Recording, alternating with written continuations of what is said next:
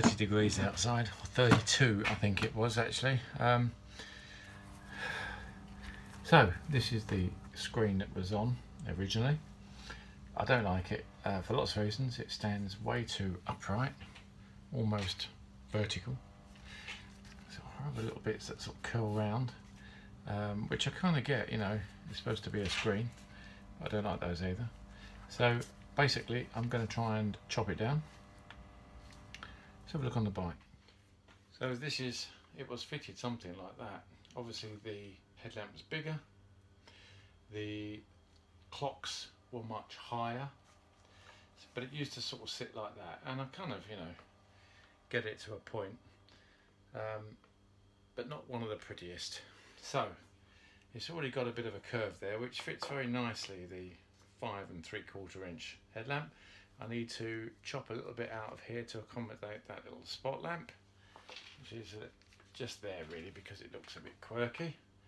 And so I'm looking to trim it down these two lines here, just to give it the original sort of look of the Moto Guzzi kind of uh, that sign of a kind of little headlamp fairing uh, sort of shape. Uh, I kind of thought it would come from here and, and be much, much trimmer.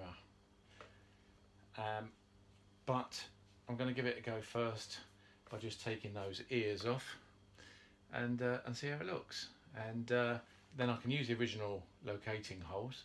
If not, I will just move them around to here. I've got to make up some new brackets and I'll pick up the, uh, the headlamp mounts from there. So, get the Dremel out and have a go.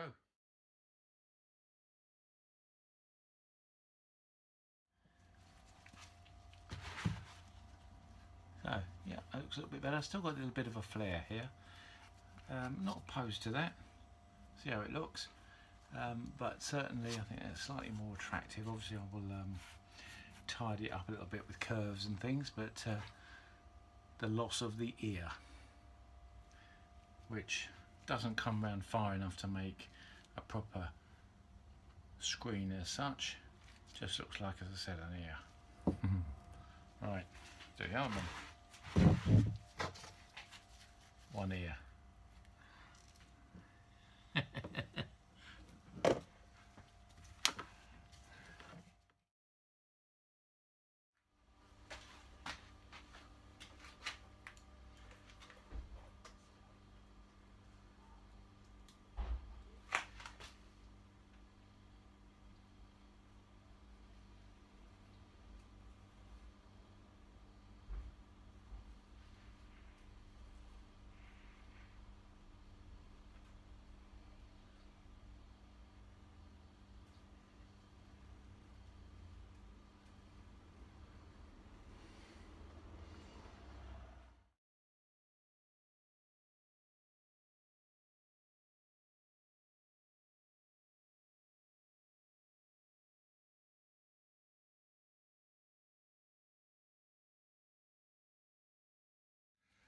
Right, there she goes. That's uh, that's not too bad. Um, changes the shape and the look a little bit. I did this with uh, a D'Arvor that uh, when I first bought a screen. It was massive, it looked hideous, and I chopped it and crimped it and chopped it and chopped it, and then I put a little lip on it, and I didn't like that, and I took that off, and um, and overall the end result was very good. So um, we'll try with that. See how we get on. There's the screen that I ended up with on the, the D'Arvor, which was very, very much smaller. Uh, it didn't do a lot, but it provided a little bit of uh, shade, if you like, for the clocks. But um, yeah, no, I was very pleased with that in the end. So, it's mid-October. It's cold, it's damp, it's been raining for two weeks. and uh, finally, now I'm going to get a chance to uh, have a look at the Guzzi again. So back in July, I had uh, a couple of hours, so I made a start, um, which I'm going to sort of be looking at this uh, screen which came with the bike, just to make a little tight um, clock screen, very sort of slim uh, affair. But so let's have a quick look at that. There's the results, and uh, so I've chopped off these odd looking ears, which were very strange looking things and uh, and I've cut in round the uh, the spot lamp Uh, I've not, I've, whilst I've smoothed them out, I've not finished done a finished edge or anything like that because um, I'm still sort of playing around with it, and I could end up uh, with a uh, a nice little, very very very slim Brazilian, or if I cock it up, maybe uh, a Hollywood. Most people know what that is. Right, so there we have it at the moment.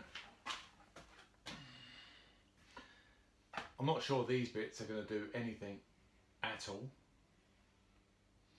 The clock, the profile of the clock is, or the dash is there. And I just want to provide a little bit of shading on the screen. And at the same time, a slight profile which sort of comes out. So I think I'm going to chop off from about here across to there, maintaining this same sort of shape, but without these little uh, wing things here. So I've got rid of the ears, now I'm going to get rid of the wings. Uh, and then I'll have to remount some new holes here, make some new brackets up.